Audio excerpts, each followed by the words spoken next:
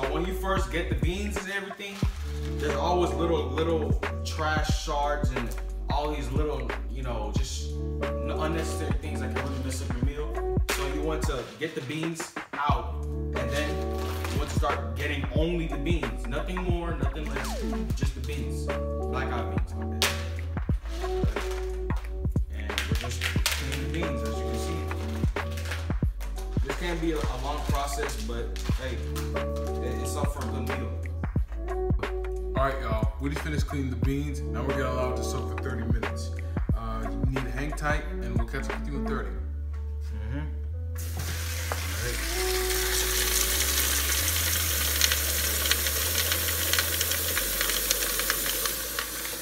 All right, y'all. This has been soaked for, you know, good 30 minutes. Now we're just, you know, cleaning out the black from the beans. Because this is akara, and akara, you need to take the black out the beans. All right, so come show them. Come show them how far we've gotten. You have to take out this. Let me show you. You see this? This needs to come out, come off the beans. So you simply, you simply just want to flick it, and then it comes off, just like that. Or you could just get a lot and then grind it on your hand, and then it'll come off. All right, now that we have gotten a lot off, all we're gonna do now is get this in your fill this up with water a little, and then I'm just gonna get that out. Get off the black. And then in the end, overall, you just want to get all the white and start adding it inside. And by the end of this, all the black will be off of the beans. So we'll get back to y'all when all the black is off the beans. All right, y'all. So we just got done cleaning the black off the beans. Come over here, see what I'm talking about. Look at that. All the black is off the beans. Now, my mom is very specific when it comes to, you know, getting the black off the beans. So, you know, we took our time to get all the black off the beans.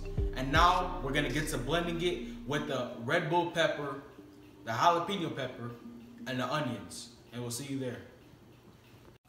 All right, y'all. Now that y'all just seen us, you know, clean the black off the beans, as y'all can see again, we're gonna go ahead and blend it with three different ingredients. Onion, you know, I already cut it. Regular onion, you know what I'm saying? Onion. And two different types of pepper. Jalapeno pepper for spices, to add spices to the akara. And red bell pepper for flavor and for, you know, color. And we're gonna get go ahead and get to, you know, blending it.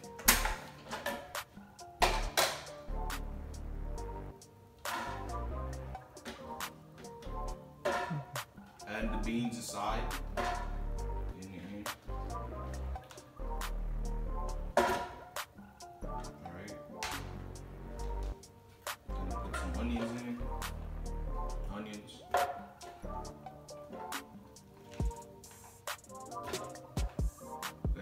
Jalapeno pepper in. And a little bit more onions too. And I'm just gonna add just a little bit of this, but we will in the end get to all of it. Oh yeah, also remember to put just a little bit of water. Just to um, you know, just so it's easier for the blender to blend it. That's why we put don't, don't put it too much before it gets, you know, all liquid. You don't want it like that. Just say that that much. You don't want it too watery. Alright. We're gonna blend it.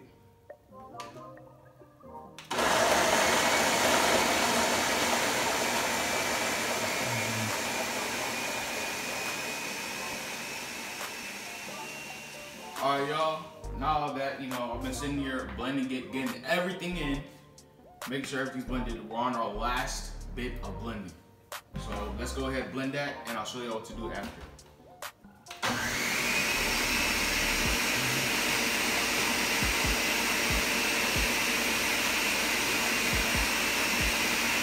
We're gonna blend processing.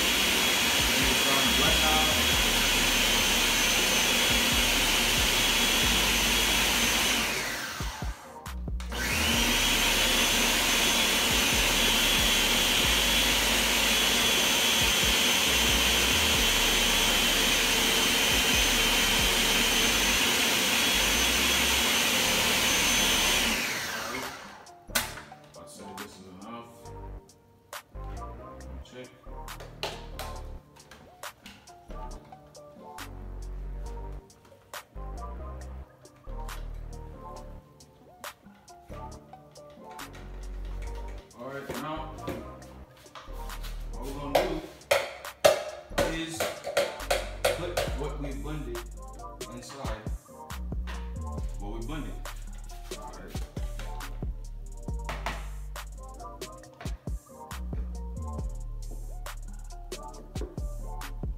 See, the reason that it's more white now is because we didn't blend this one with the with the red bell pepper. But you know, once we start mixing it and blending it, in, it will get red. So just if y'all have any questions why it's white right now, that's why.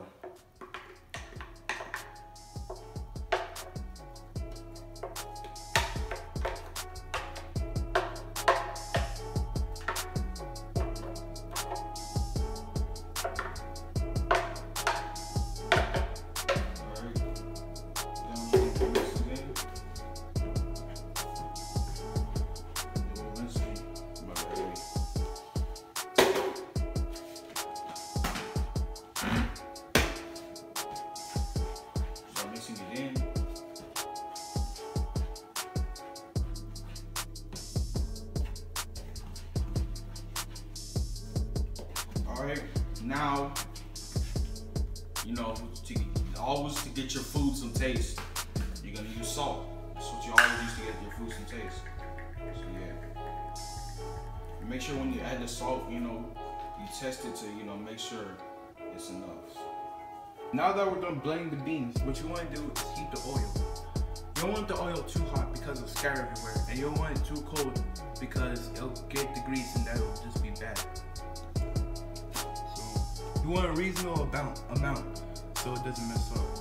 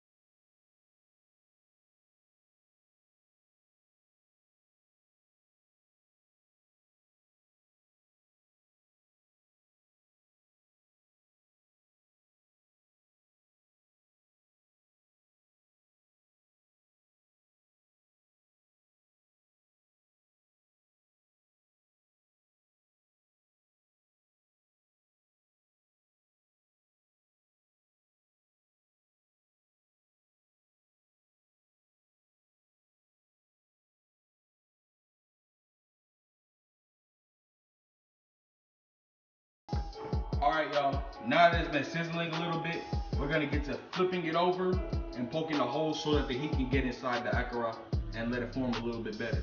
All right, let's get to flipping it.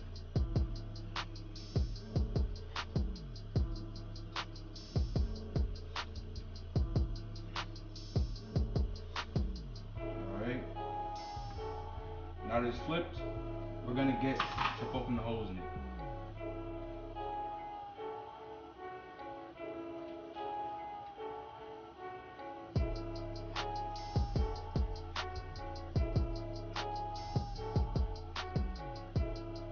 By the end of this, your akara should be cooking and about ready to go.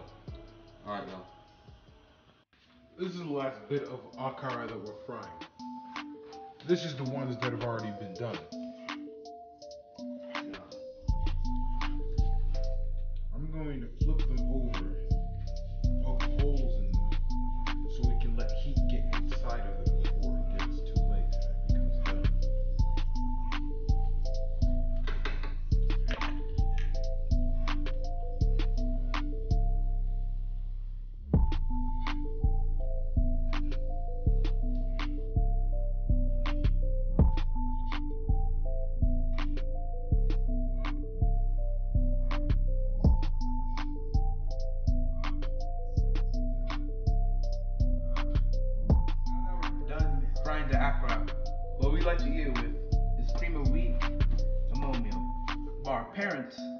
To eat it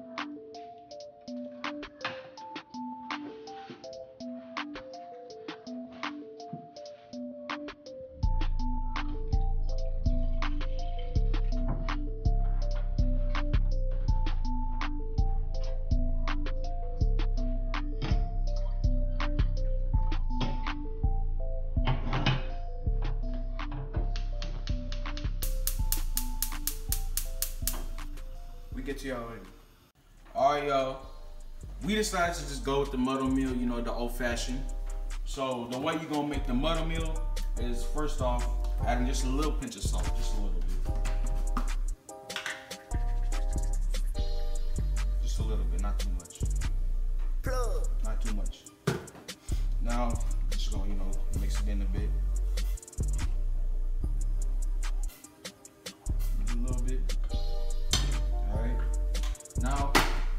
Going to add the muddle meal. I promise you, when you put it, you don't want to overdo it or it'll get very thick. Now look, I'm just gonna put enough. About that much. And it looks like it's still gonna be watery, I know, but as you keep stirring, it'll get thicker and thicker and thicker. And if it's still not thick after I'd say a good two, three minutes of stirring, then add a little bit more. Add more.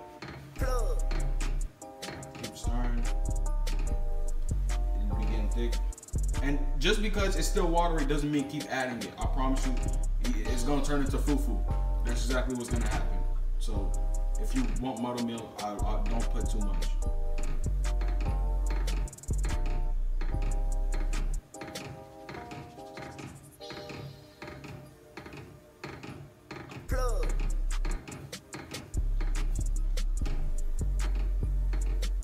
Slowly just getting thicker.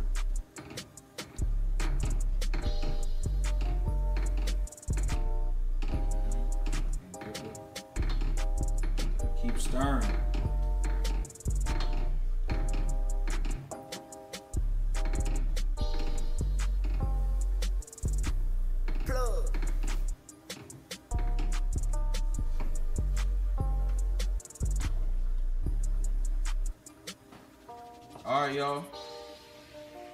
Done stirring. Oatmeal's gotten thick, and now breakfast is ready.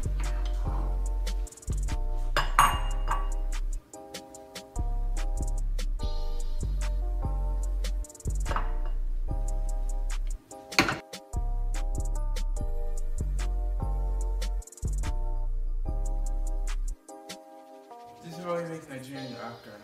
We usually make this every other Saturday. Hope y'all enjoyed this video. We're gonna be putting more stuff than just cooking on this channel, so stay tuned for that, guys. Make sure to leave a thumbs up and subscribe and stay tuned. Bye, guys.